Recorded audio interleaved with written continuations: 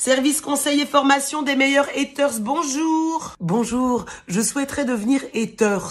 C'est très simple, madame, pour être un bon ou une bonne haters, il faut réunir cinq grandes qualités. Lesquelles? Être fort et gris Oui. Être jaloux de la réussite d'autres individus Je vois, oui. Péter plus haut que son cul Ok.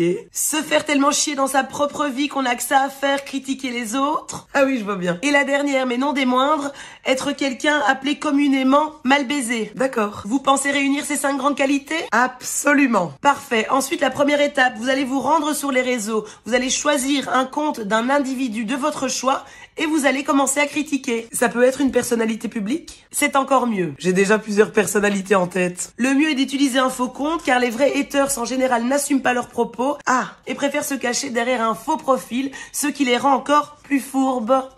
Parfait. J'ai déjà plusieurs faux comptes à mon actif. Je sens que madame va être une de nos meilleures haters. J'y compte bien. Et maintenant, vos mots d'ordre sont critiquer, blesser, anéantir. Répétez après moi. Critiquer, blesser, anéantir. Critiquer, blesser, anéantir. Plus fort. Critiquer, blesser, anéantir. C'est ça. Critiquer, blesser, anéantir. Surtout, j'imagine. Critiquer surtout, évidemment. Son contenu, son physique, sa personnalité. Faut pas y aller de main morte, quoi. Je peux vous assurer que si l'individu que vous avez choisi est très fragile, vous pouvez le détruire en très peu de temps. J'ai hâte. Je dirais même plus, vous avez hâte. Merci beaucoup, j'espère être la meilleure des haters possible.